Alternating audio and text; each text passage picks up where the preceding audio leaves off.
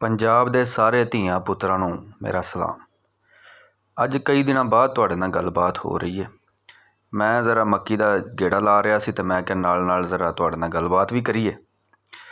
ਇਹ ਜਿਹੜੀ ਮੱਕੀ ਹੈ, ਹੁਣ ਤਕਰੀਬਨ ਕੋਈ 6 ਕੁ ਹਫ਼ਤਿਆਂ ਦੀ ਹੋ ਗਈ ਹੈ। ਤੇ ਹੁਣ ਤੱਕ ਠੀਕ ਹੀ ਜਾ ਰਿਹਾ ਕੰਮ।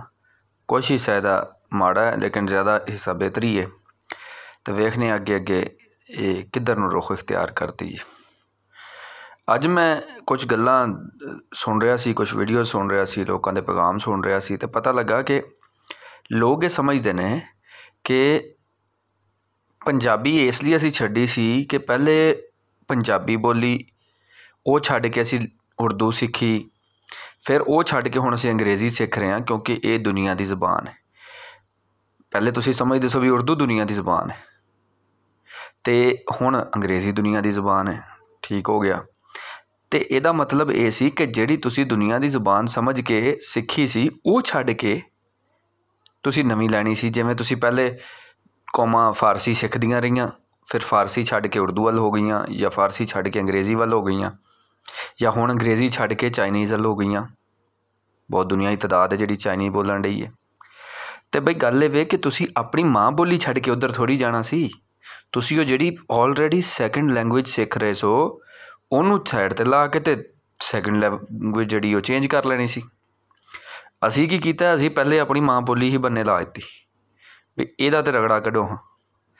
ਉਹ ਬੰਨੇ ਲਾਣ ਦੇ ਨਾਲ ਅਸੀਂ ਨਾ ਸਿਰਫ ਪੰਜਾਬੀ ਕਲਚਰ ਨੂੰ ਛੱਡ ਦਿੱਤਾ, ਨਾ ਸਿਰਫ ਪੰਜਾਬੀ ਗੱਲਬਾਤ ਨੂੰ ਛੱਡ ਦਿੱਤਾ, ਅਸੀਂ ਇਹ ਪ੍ਰੋਜੈਕਟ ਕੀਤਾ, ਇਹ ਲੋਕਾਂ ਦੇ ਸਾਹਮਣੇ ਗੱਲ ਪੇਸ਼ ਕੀਤੀ ਕਿ ਪੰਜਾਬੀ ਦਾ ਮਤਲਬ ਹੀ ਜਿਹੜਾ ਨਾ ਇਹ ਤੁਸੀਂ ਆਊਟਡੇਟਡ ਹੋ ਗਏ ਹੋ ਤੁਸੀਂ ਦੁਨੀਆ ਦੇ ਨਾਲ ਰਲ ਹੀ ਨਹੀਂ ਸਕਦੇ ਲੋਕ ਤੁਹਾਡੇ ਤੋਂ ਅੱਗੇ ਨਿਕਲ ਜਾਣਗੇ ਜੇ ਤੁਸੀਂ ਪੰਜਾਬੀ ਬੋਲੋਗੇ ਤੇ ਕਮਾਲ ਹੋ ਗਿਆ ਵੀ ਮੈਂ ਤੇ ਸੋਚ ਤੋਂ ਹੈਰਾਨ ਹਾਂ ਮੇਰੀ ਹੁਣ ਜ਼ਾਤੀ رائے ਤੇ ਇਹ ਵੇ ਕਿ ਸਕੂਲਾਂ ਦੇ ਵਿੱਚ ਚੜ੍ਹਦੇ ਪੰਜਾਬ ਨੇ ਪੰਜਾਬੀ ਨੂੰ ਬੜਾ ਚੰਗਾ ਪ੍ਰੀਜ਼ਰਵ ਕੀਤਾ ਹੈ ਬਚਾ ਕੇ ਰੱਖਿਆ ਹੈ। ਅਗਲੀ ਨਸਲ ਨੂੰ ਸਿਖਾਉਣ ਦੇ ਨੇ ਉਹ ਬੜੇ ਫਖਰ ਨਾਲ ਪੰਜਾਬੀ ਬੋਲਦੇ ਨੇ। ਅਸੀਂ ਪਤਾ ਨਹੀਂ ਕਿਸ ਅਜੀਬ ਜੇ ਸੋਚ ਦਾ ਸ਼ਿਕਾਰ ਹੋ ਗਏ ਹਾਂ। ਸਾਡਾ ਕੰਮ ਇਹ ਵੇ ਕਿ ਸਕੂਲਾਂ ਦੇ ਵਿੱਚ ਬੱਚਿਆਂ ਨੂੰ ਲੈਂਗੁਏਜਸ ਦੇ ਵਿੱਚ ਆਪਸ਼ਨ ਦੇ ਦਈਏ, ਜੇ ਉਹ ਆਪਣੀ ਮਾਂ ਬੋਲੀ ਸਿੱਖਣਾ ਚਾਹੁੰਦੇ ਨੇ। ਇਹਦੇ ਨਾਲ ਸਾਨੂੰ ਦੋ ਨੁਕਸਾਨ ਹੋ ਰਹੇ ਨੇ ਇਸ ਟਾਈਮ ਇੱਕ ਤਾਂ ਅਸੀਂ ਗੁਰਮੁਖੀ ਤੇ ਸਿੱਖਣੀ ਨਹੀਂ ਸੀ।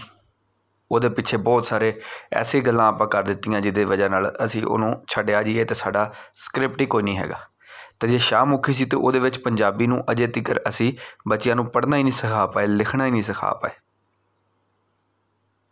ਇਸ ਤੋਂ ਅਗਲੀ ਨਸਲ, ਇੱਕ ਨਸਲ ਹੁਣ ਜਿਹੜੀ ਪੈਦਾ ਹੋਈ ਏ, ਇਸ ਤੋਂ ਅਗਲੀ ਨਸਲ ਦੇ ਵਿੱਚ ਸ਼ਾਇਦ ਸਾਨੂੰ ਸਾਡੇ ਵਾਲੀ ਸਾਈਡ ਤੇ ਪੰਜਾਬੀ ਨਾ ਲੱਭੇ ਅਗਰ ਅਸੀਂ ਕੋਈ ਮਿਹਨਤ ਨਾ ਕੀਤੀ। ਅਸੀਂ ਖੇਤਾਂ ਦੇ ਵਿੱਚ ਮੈਂ ਫਿਰਦਿਆਂ ਹੋਇਆਂ ਇਹ ਸੋਚ ਰਿਹਾ ਸੀ ਕਿ ਮੈਂ ਇੱਥੇ ਅਜੇ ਬੱਚੇ ਪਿੰਡਾਂ ਦੇ ਵਿੱਚ ਨੇ, ਇਹਨਾਂ ਨੂੰ ਵੇਖ ਰਿਹਾ, ਪੰਜਾਬੀ ਬੋਲਦੇ ਆ ਕੀ ਅਗਲੀ ਨਸਲ ਇਹਨਾਂ ਦੀ ਪੰਜਾਬੀ ਬੋਲੇਗੀ ਜਾਂ ਇਹ ਵੀ ਵੱਡੇ ਹੋ ਕੇ ਸਿੱਖਣਗੇ ਕਿ ਪੰਜਾਬੀ ਦੀ ਵਜ੍ਹਾ ਨਾਲ ਮੇਰੇ ਨਾਲ ਲੋਕੀ ਨਫ਼ਰਤ ਕਰਦੇ ਨੇ, ਛੱਡੋ ਪਰਾਂ ਪੰਜਾਬੀ ਨੂੰ। ਇਹ ਦੇਣਾ ਚਾਹੁੰਦੇ ਹਾਂ ਅਸੀਂ ਦੁਨੀਆ ਨੂੰ। ਸੋਚੋ, ਗੌਰ ਕਰੋ ਇਸ ਗੱਲ